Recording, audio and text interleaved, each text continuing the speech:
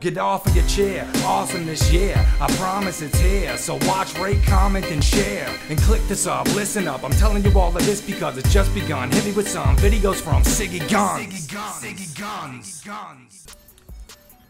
Yo, yo, yo, what is up? Playing some Google Maps Pac-Man in the background. Look at it. That's right, April Fools, they have this game on Google Maps. On the website, I don't think you could do it on the uh, app itself on your phone.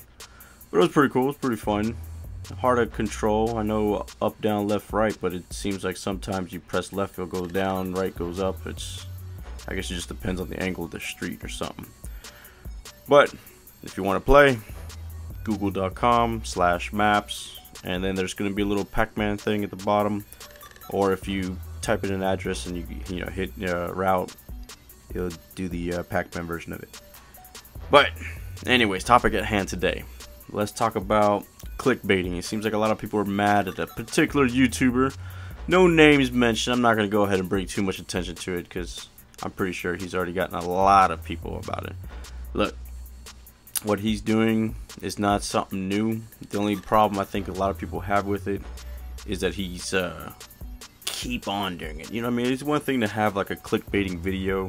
Let's say I made one called Grand Theft Auto 6, you know, rumors it's one thing to have one video about it. You know what I mean? Like you, you get it out the way. You know, you I, I hear about heist. I'm gonna put on there. Hey, guess what? Heist is coming out on this day. Or if there was, you know, the delay, the PC GTA, you you, you know what people want to hear about or what you want, you know, your fans or whatever your subscribers want you to talk about. So you'll find it and you'll pump out a video about it. And generally, you just do it once you know, you make your views off that one video, whatever, and that's it. But uh, I, I can understand why a lot of people are like really harping on him because he's using it like every fucking day. I mean, uh, I'm it's working for him. I mean, obviously, if you look at the views, you know, it seems like it's not hurting him at all. So I, you know, I know people. All it's about is views. I know that's all they care about. That's what it's all about. Obviously, if you're getting paid on YouTube. So, you know, you don't have to have friends to make money in this YouTube game. You just need to have the views.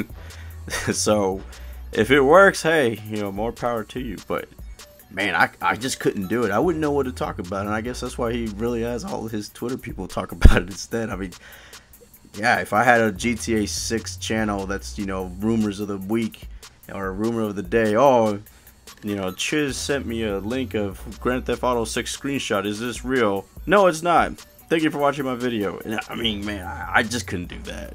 But I wish I thought of it though.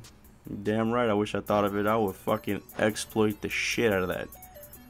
I would put Grand Theft Auto 6, you know, screenshots, Grand Theft Auto 6 release date, Grand Theft Auto 6 weapons, Grand Theft Auto 6 characters, Grand Theft Auto 6 signs Jamie Foxx to be the voice of Franklin's cousin's mother's dog. You know, but I'm just not like that. But there's people out there that will do that. This is Siggy saying peace. I'm out.